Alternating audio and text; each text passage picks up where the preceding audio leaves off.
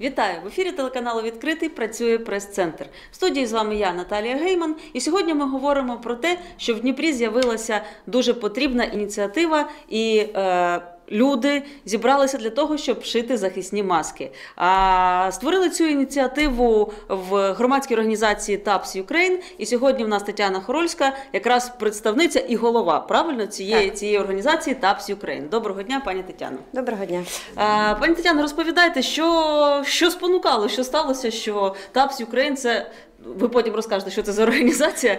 Чему, чему вы почали шить эти маски? Ну, давайте с самого начала, что такое ТАПС Украина. Да. Это э, благотворительный фонд и одночасно громадская организация. Занимаемся мы помощью семьям погибших, занимаемся э, в этом направлении уже более, э, ну, уже шестой год, в принципе, с того момента, как сама осталась вдовой, и эта проблема коснулась и меня лично тоже. Э, в рамках ТАПС Украина мы занимаемся этим именно два года. А до этого мы занимались совершенно в другом ГО. Но эту деятельность мы знаем очень хорошо и знаем, а, как сложно становится, когда люди приходят в панику, когда есть непонимание, когда нужна помощь, и никто не знает, куда обращаться. Мы как те люди, которые уже прошли такой путь, э, и у нас такой есть внутренний слоган свой «С виду свого по своє», и мы подумали и решили, что нам, наверное, стоит обратить внимание на то, чем люди на сегодняшний день совершенно не пользуются и ну вот, ну не проявляют никаких средств защиты для себя и для окружающих. Поэтому первое, что мы сели и подумали с девочками, что, наверное, что-то нужно делать, и такое, что можно подарить семье и дать, и то, к чему люди отнесутся всегда с пониманием, это, наверное, наборы, те, которые смогут обезопасить в период карантина. Это маски и дезинфицирующие растворы в небольших количествах. Это то, что мы на сегодняшний день своими силами нам легко сделать. Есть э, дезинфекторы в большом количестве, мы просто их фасуем в небольшие. Есть в набор будет входить дезинфектор, маска, э, пара перчаток. Я думаю, как минимум для того, чтобы один-два раза выйти на улицу, подышать свежим воздухом, хотя бы там выгулять собаку, у кого она есть, либо сходить за продуктовым набором в аптеку, ну, то есть по мере необходимости. А, скажіть, будь ласка, Хто з вами робить ці всі набори, хто їх формує? Ой, слушайте, ну это как всегда, все те же люди, все те же волонтеры, которые были с нами на протяжении всех этих шести лет, э, те семьи, которым до сих пор болит, и те семьи, которые четко понимают, что самостоятельно очень сложно выжить даже в такой ситуации.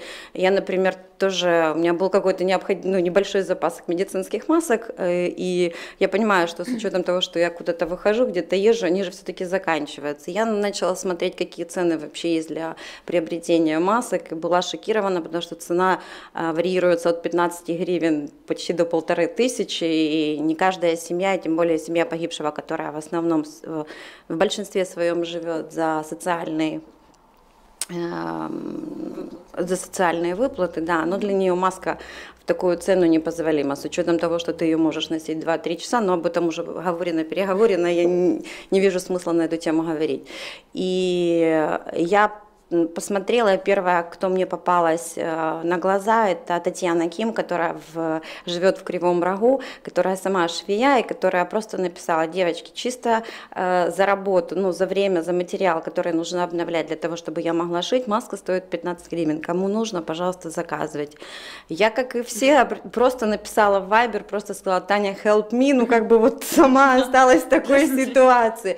То есть, и она мне говорит, вообще вопросов нет, 2-3 дня я отправлю. Я ей безумно благодарна, потому что на момент выйти куда-то, когда закончатся свои, есть те, которые можно всегда простернуть, они есть ну, не медицинские маски.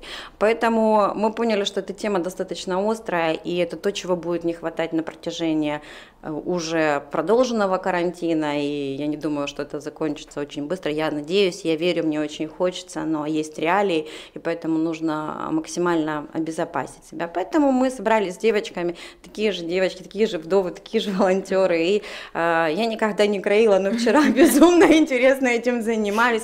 Кто-то нарезал вставочки, кто-то нарезал резиночки, кто-то нарезал э, вставочки, которые фиксируют э, маску в области носика.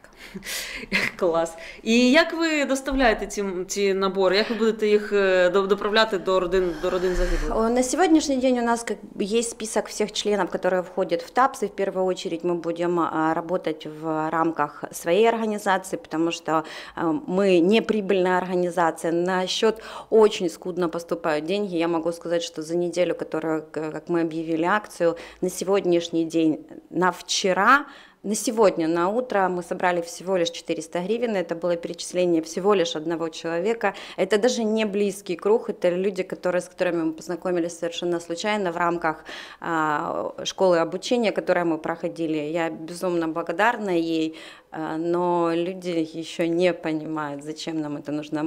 Это специальная акция, там написано специальные реквизиты, это, а, это не карта, это счет фонда, это отчетность. Но пока, наверное, нас еще не торкнуло все. Ну, це знаєте, це як з війною було. Да. Так. Поки, допоки е, люди не почали відправляти своїх дітей і своїх е, чоловіків на війну, вони не розуміли, що це таке насправді. А, с- Певно ж, ну, є потреби, да? якщо ви вже пишете про це в Фейсбуці там, чи даєте реквізити. А, які на сьогоднішній день ви маєте потребу для того, щоб пошити е, ці маски і сформувати ці, ну, скажімо так, е, гігієнічні набори? Да? Но, а, во-первых, с- с- а, сам, а, сама ткань, сама резинка, сама нитки а, есть на сегодняшний день, ну, как бы мы уже понимаем, что кроить, какие виды масок лучше и тщательнее прилегают. Ну, как бы вчера мы 4 часа потратили на обмерку лиц и всего остального. А, Вот. э, На сегодняшний день нужна ткань, резинки. Это все сейчас стоит сумасшедших денег, потому что, как всегда, та группа товаров, которая необходима больше всего, она возрастает в цене максимально. а, Нужны руки для э, девочек, которые уже шили, не просто, э, ну, как вот, да, там швейно-домницы, например, или те, название, конечно, смешное, те, кто шьют на дому, А, вот, но те, кто смогут качественно их отшить. Сейчас мы подготовим несколько образцов в двух кроях, которые мы сделали, и вместе с раскроенным материалом будем давать уже готовый образец, чтобы было видно, как его шить.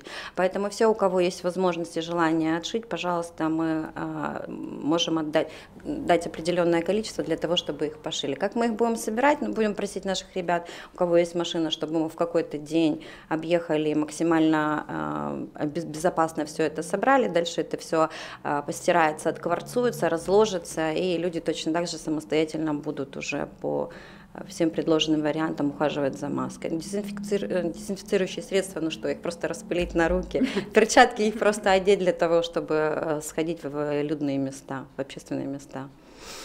Вот. Э, Далее обстановка, наверное, будет чуть-чуть сложнее, там пойдут продуктовые наборы. Продуктовые наборы вот весь период нашей работы могу сказать, что должны быть стандартными, одинаковыми для всех. Мы не должны никого выделять э, кому-то больше, кому-то меньше. То есть есть стандарт продуктового набора. Продуктовый набор в среднем на сегодняшний день базовый. Даже если мы посмотрим по ценам АТБ, по ценам Варуса, по ценам э, Сельпо он получается в среднем 450-полторы тысячи. То есть все в зависимости от того, что будет входить в набор.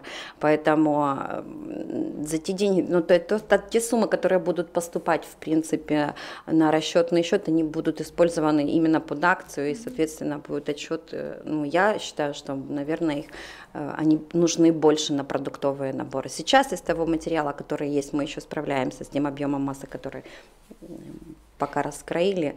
Но мы всегда рады всему. Никогда ничего лишним не бывает. Звоните, Це пишите. точно да, в нашому житті. Скільки вже масок пос- пошили і скільки плануєте ще пошити? Э, Знаете, на вчера мы раскроили э, ткани, пересчитали из того, что у нас есть всего лишь 200 штук. Ну, то есть 200 до, до, до 240 э, штук. Но я могу сказать, что для неподготовленных людей, кто вообще ножницы и раскроечный материал взял вчера в первый раз в руки, э, вот я, например, вчера раскроила всего лишь 35 масок. Это 70, э, ну, это 105 э, одинаковых деталей, которые по ходу еще нужно потом шить.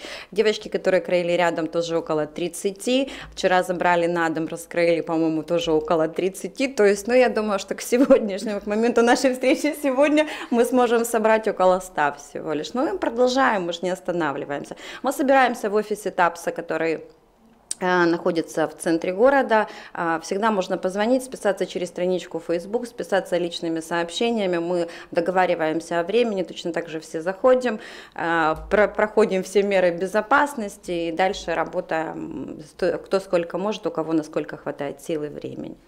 Отже, скажіть нашим телеглядачам ще раз, що вам необхідно, і е, як вести, як, як знаходити всі, всі, всі А, реквізити, все, все що. Да, реквизиты я могу вам дать. э, н- Они есть на страничке э, организации ТАПС в Фейсбуке. Вы можете перезвонить лично, э, допустим, ко мне, я могу продиктовать телефон, да, Э, по телефону 067 41 11 911. Вы можете написать, на этом телефоне есть WhatsApp, Viber, Telegram, э, мессенджер, вы можете написать мне в личные сообщения, я сброшу адрес, где мы находимся, сброшу непосредственно реквизиты фонда, э, куда можно будет перечислить деньги и с каким предназначением платежом. Дякую. Сподіваюся, що е, ну, те, що ви робите, воно, звісно, вже не буде марним. Але сподіваюся, що ці маски не знадобляться е, на майбутнє. Будемо вірити в це, що все, всі, всі негаразди нас минуть. Я хочу звернутися до наших телеглядачів і попросити не бути байдужими, не зволікати, тому що це наше здоров'я, наша безпека і наше життя, зрештою. Тому доєднуйтесь до прекрасної ініціативи. Дівчата потребують рук, дівчата потребують е, допомоги, підтримки фінансової, тканевої, будь- будь-якої, яка може в цей час е, нас якось підтримати і, ну, і залишити нам наше здоров'я. Е, Не будьте байдужими, бережіть себе, бережіть своїх рідних, е, любіть себе і любіть Україну. Дякую вам за увагу. В студії була Наталія Гейман, Тетяна Хорольська і шийте маски. До побачення.